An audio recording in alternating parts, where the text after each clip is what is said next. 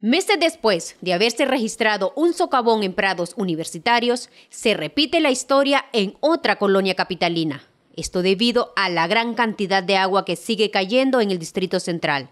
En esta ocasión, el agujero se produjo en la colonia Centroamérica Oeste, poniendo en peligro a un centro educativo, una vivienda y una posta policial. Edwin Marquina, presidente del patronato de esta colonia, enfatiza que para ellos esta situación es preocupante, ya que pueden quedar incomunicados porque igual peligra la calle principal de dicho sector.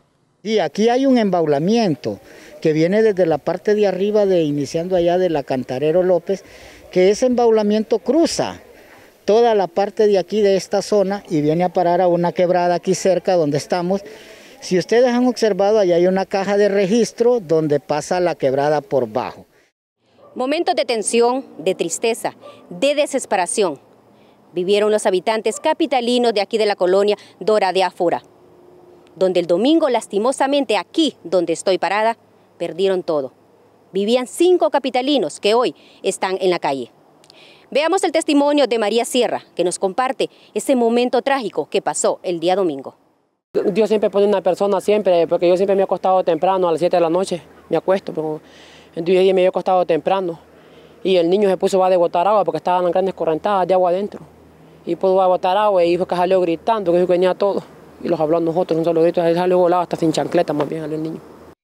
Este es otro de muchos testimonios de capitalinos que están sufriendo a causa de las lluvias.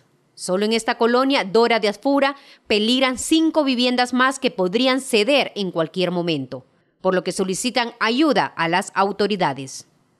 En tanto, la gerente de la Unidad Municipal de Gestión Integral de Riesgo de la Alcaldía Municipal del Distrito Central, la arquitecta Ingrid Flores, adiciona que desafortunadamente estos deslizamientos podrían continuar en diferentes colonias. Hay miles de familias en peligro por la vulnerabilidad tanto de la inundación como el deslizamiento. El deslizamiento de laderas es un 85% en el Distrito Central versus el 15% de inundaciones. Según el experto en gestión de riesgos y desastres Julio Quiñones, en el Distrito Central hay más de 3.000 puntos que están catalogados como de riesgo, diseminados en 735 colonias, pero estos deslizamientos apenas comienzan, ya que se esperan más lluvias. Además, añadió que esto nos debe poner en alerta, porque de tocarnos directamente un fenómeno natural, las consecuencias serán peores y lo que hemos tenido han sido máximo una vaguada que son normales de la temporada. A nosotros el invierno nos lo marca la zona intertropical de convergencia y es la que nos ha estado dejando las cantidades de humedad que tenemos en la capital y en una fracción importante del país. Increíblemente hoy eh, se ve y está ahí de manifiesto la vulnerabilidad de este país que con niveles de saturación como los que hemos tenido colapsan eh, deslizamientos, derrumbes. Eh.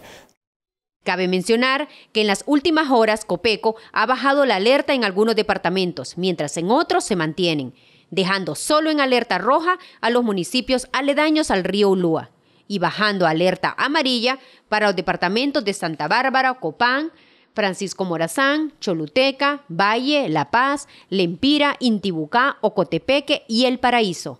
Y en alerta verde se encuentran Comayagua, Gracias a Dios, Colón, Atlántida, Isla de la Bahía, parte de los departamentos de Cortés, Lloro, así como Olancho. Desde Suyapa Medios y Notifides le invitamos a fomentar una cultura de paz. Con imágenes de Brian Casanova y Nelson Montes, les informó Janet Lagos.